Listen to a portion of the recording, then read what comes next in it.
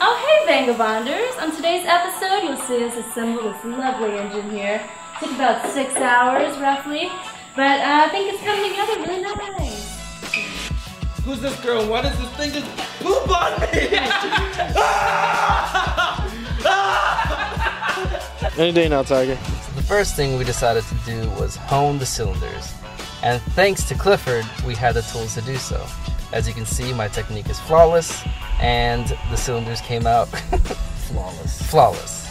Then we put new piston rings on the pistons. Now, I don't know if you saw last episode, but these pistons were extremely dirty, and it took quite a while to get all the carbon off. Then we compressed the piston rings, and uh, Jack went ahead with his uh, wooden hammer and hammered it in.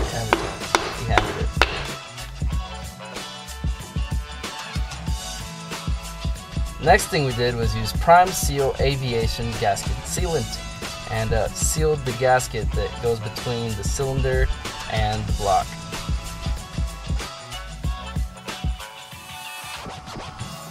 Next thing was hammering in the wrist pin. So this here is a little technique we learned from Ragamuffin Garage, pretty much using half-inch PVC pipes to hold the cylinders next to the block. Pretty good for uh, rotating the engine without having the cylinders pop out. Say? Yeah, it is pretty good for that. That's actually exactly what it's for. And then we rotated the engine and saw, hey, it rotates pretty good. Next thing we did was put the cylinder head gaskets. And uh, some people say don't use these anymore, but I had to use it. So please, uh, if you need to complain, complain in the comments below. Or don't. Or don't. We're, we're, we get kind of sad. Then we torqued the heads down. And as you can see, we used them old school torque wrench. Gotta keep it old. Gotta keep it old. And that's the beautiful engine block. Oh, you see that, dude? Yeah, it looks good. Oh, yeah, then Jack had to act like a chicken for a little bit. Now, this is also aviation sealant we used uh, to make sure we sealed that oil pump so we wouldn't have leaks. I'm pretty sure Chris used this on about everything. Yeah, I even used it to seal my eyelids shut at night so I could sleep better. Damn life. And then we put the oil filter attachment thingy, whatever it's called, and the crankcase inspection hole. We put a new gasket on that too. New gaskets all around, so you can sleep easy knowing, yeah, it still leaks, but uh, I think it leaked less than it did before. Make sure you just, you know, put that, uh, Aviation sealant on everything. make sure we can fly like an eagle. Yeah, I think we're gonna put this engine in a plane One day. one day. And uh, make sure you put that lower tin on. It's called the heat deflector tin. And if not, I just made that up, but it's important. Now, I know some people might complain about putting uh, this sealant on this stuff too, but uh, I put that on everything. I even put it in my sandwiches. Mm, sandwiches. I'm pretty hungry. Now, what I'm doing here is priming the push rod. AKA, I'm not doing anything, I'm just sucking up oil and putting the push rod in.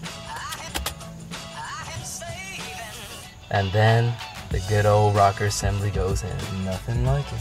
Nothing like it. Make sure to keep your hands clean through this whole process. And make sure to torque those down to the appropriate torque spec. Check your manuals. Ah, rotation of an engine. Where's the fuel sender cable?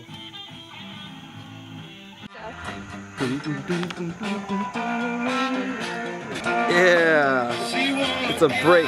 Break time. Yeah, this is from the breather holes, and now we're getting cancer slowly. Then we scrub a dub dub the tins, tins, tins, and I was very sad because it made my skin so dry I think half of my layers of skin came off. Make sure to clean that fan shroud on the inside and out for good airflow. Then we put the tins back on and look how new they look. Are you kidding? I'm not even kidding myself. Then finally we got Jack to do something besides stand around and eat muffins all day. Hey, Yeah. you shouldn't know that. They shouldn't know that. You're right. And I got behind the camera. Ooh. Oh yeah. And recorded him putting the carburetor on.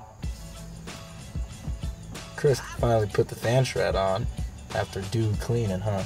Yeah, that thing's clean. I would eat off of it. Van life. Van life. Livable. I thought I was. Then we had our friend Mallory, who happens to be an alternator expert. Really? Take the alternator alternator off. Oh, Take the alternator off the old fan shaft so that we could then put it on the new engine. Because this alternator came off of a 1978 model, as our alternator came off the 1973 and had a nice squeak. Tell 'em how squeak went. Sounded exactly like that. And then we put the 1978 alternator on the. Hey, look, it's Frankie. He came to visit. And uh, we put the 1978 alternator on with a good belt. Then we had the good old Mallory install the Dizzy. Dizzy. Dizzy. And uh, we tightened that thing down to uh, about. Check your manual. Check your manual. So it's the moment you've all been waiting for. We finally have a 2.0 with hydraulic lifters.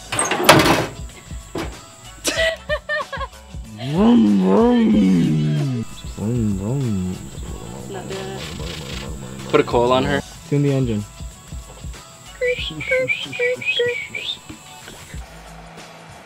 Then we annealed the exhaust gaskets. Now, if you're wondering what this is for, it's important. It's so that those squish between. You gotta hear that noise. Squish between the exhaust and the head so you won't have any leaks. Because leaks Do not do not do good. on our engine. on our engine. And then we used the wooden hammer again, which is actually just a piece of 2x4 because for some reason we don't have hammers in this garage. Everything's on a budget. Hey, that's when I got stung by a wasp and I was swollen for three days and looked like I had a bear claw. Good times. Good times. I thought the engine was gonna fall there. Hey, look, it's me. And now the moment you've all been waiting for. The real 2.0 with hydraulic Oh, lifters. we lied again. And then it became time to reinstall the engine. Let me tell you, taking out the engine, cake. Putting back the engine, also cake. He ain't lying, except for the fact that the engine got stuck on the input shaft and was hanging on the input shaft, think so I don't know did. if we'll ever be able to drive this bus again. I never said cake was easy to make.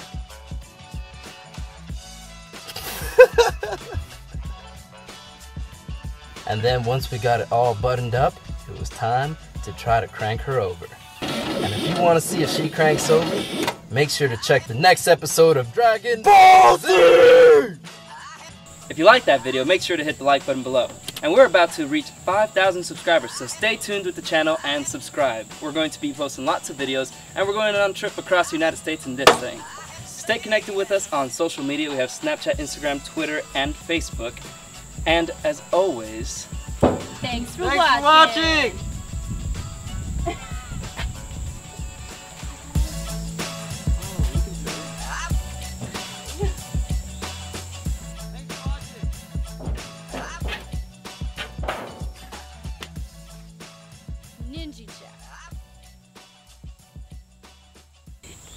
Comedy?